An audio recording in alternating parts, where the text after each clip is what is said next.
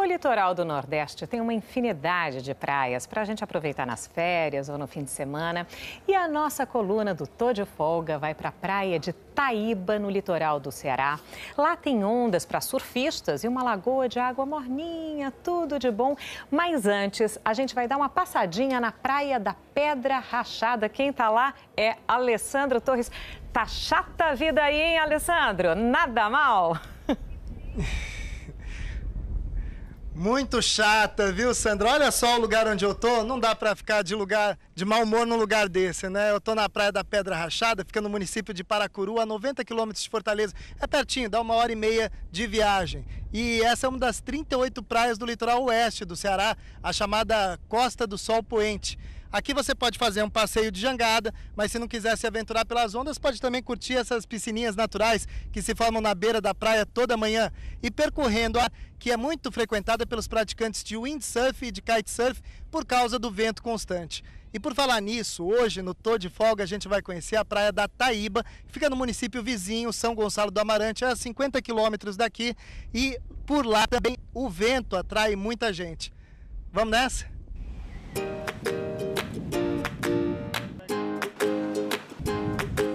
Na Taíba, 70 quilômetros de Fortaleza, os atrativos mudam de acordo com as paisagens. O ponto central da praia, por exemplo, é a chamada Taibinha, marcada pelo mar agitado, que atrai surfistas, mas até as ondas são variadas. Quem gosta de uma onda mais clássica, uma onda de linha, escolhe o pico da Taibinha. Quem gosta de mais adrenalina, escolhe o Morro do Chapéu. E quem está aprendendo, quem está iniciando no esporte, pode surfar ali próximo às grutas. Então, acredito eu que é só escolher sua onda preferida e se divertir. Com ou sem prancha, inclusive. A Beatriz aproveitou o mar com a família. É divertido, dá para entrar um pouco. As mesmas ondas que fazem a alegria dos surfistas e dos banhistas também esculpiram esses rochedos ao longo de milhares de anos. E são mais um lugar para aquele turista mais contemplativo poder ficar assim, olha, observando a natureza bem pertinho do mar. Chegar na trilha que leva até o alto das rochas só é possível na maré baixa. A maré sobe, desce, as ondas vêm e vão e a gente tem que ser ágil, né? Para pegar a hora que, que não tem onda para a gente conseguir passar, que senão a gente toma banho aqui. E por falar nisso, a praia oferece uma ducha natural nas bicas de água doce. A 5 quilômetros do centro, o turista encontra essa lagoa que a gente vê é ideal para um banho. Mas como todo espaço aqui é aberto, o vento é constante. E neste caso, esse também é um dos lugares preferidos para os praticantes do kitesurf.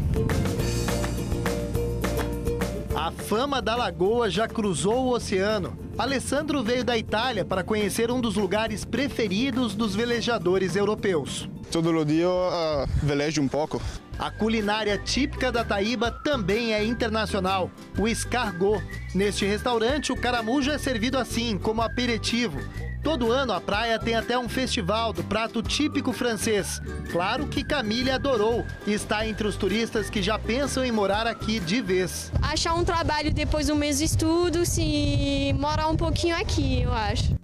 Um dos cantinhos preferidos de Camille é o Morro do Chapéu e suas barracas de praia. A estrutura de hospedagem também é diversificada. E no resort ou nas pousadas, a vista é sempre a mesma, mas nenhuma que se compare ao ponto principal da Taíba, o Mirante, que todo fim de tarde reúne turistas e moradores em busca do pôr do sol. É um lugar que nos dá um sossego, nos eleva, uma tranquilidade que no fundo nós todos desejamos. Porque você olha para o mar, olha para o pôr do sol, você imagina aquilo que você quiser.